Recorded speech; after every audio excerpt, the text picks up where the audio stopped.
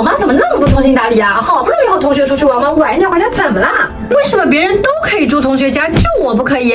青春期的宝贝们，妈妈不是不通情达理，也不是不讲道理，其实啊，他们是在保护你。相信大家啊都已经看到了最近发生了一件让人很痛心、很痛心的事情。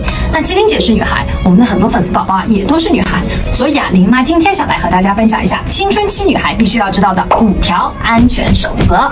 一，在没有成人的陪同下，晚上尽量不要和同学朋友单独出去，好朋友不让自己置身任何有可能碰到危险的情况，就是最好的保护。二，外出的时候不要轻易相信陌生人的话，也不能随便跟着别人进入密闭的空间。要记住，如果比你强大的人向你寻求帮助，一定是另有目的。三，如果你是个暴脾气、急性子，不要轻易和陌生人硬刚，因为你对他根本不了解。这个世界啊，也远远比你想的要复杂的多。一旦离开过自己视线的食物啊，就不要再碰了。如果你被威胁了，一定要跨过自己的心理障碍，尽早告诉爸爸妈妈或者老师。他们可能会难过，会生气，但是他们才是最能保护你的人。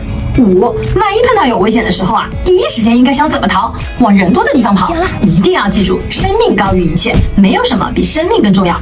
希望今天的分享对你们有帮助。大家还有什么小烦恼，也可以问林妈哦。